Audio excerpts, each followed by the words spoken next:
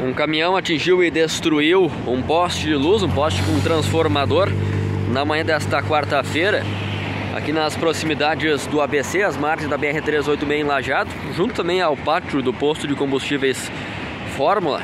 A gente percebe que este poste, o transformador, ainda estão aqui caídos neste local. Alguns fios também espalhados aqui, o local já está sinalizado já a Cone sinalizando este ponto. A RGE já está mais à frente, lá a gente consegue perceber o veículo com sinal alerta.